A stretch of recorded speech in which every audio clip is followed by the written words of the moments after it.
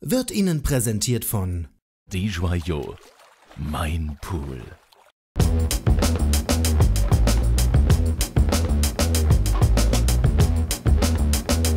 Kränks, was ist das denn abgefahrenes? Ein ferngesteuertes Auto aus Plüsch? Ja, das war die absolute Innovation im letzten Jahr. Wir waren auch für den Teuerwort nominiert und haben den Top 10 Spielzeugpreis bekommen. Aha. Tatsächlich, dieses Auto ist ferngesteuert und es ist aus Plüsch. Sie können nicht nur damit fahren, sondern Sie können auch damit kuscheln.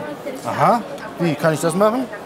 Ja, Also ich kann die rausnehmen. Genau, die Figuren sind festgeklettet und dann können Sie sie rausnehmen. Sie können sie übrigens auch, wenn sie verschmutzt sind, waschen. Da träumt die deutsche Hausfrau von, ja? Äh, aber ich meine, ein Auto aus Plüsch zu entwickeln, ist schon eine abgefahrene Sache. Wie sind Sie darauf gekommen? Jeder kennt das Problem. Das Kind fährt mit den RC-Fahrzeugen vor die Möbel und man hat Macken dran. ja. Wie kann man das Problem lösen? Entweder man macht überall Schutzaufkleber davor oder man erfindet ein Auto aus Plüsch. Super gut gemacht. Und ich meine, Peppa Pig ist natürlich auch eine sehr, sehr große Marke, oder?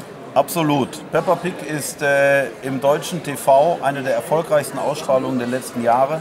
Zielgruppe sind Kinder von zwei bis fünf Jahren und jedes zweite Kind in Deutschland kennt Peppa Pig. Wow.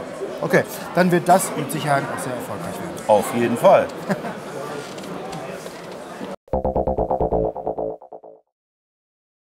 wurde Ihnen präsentiert von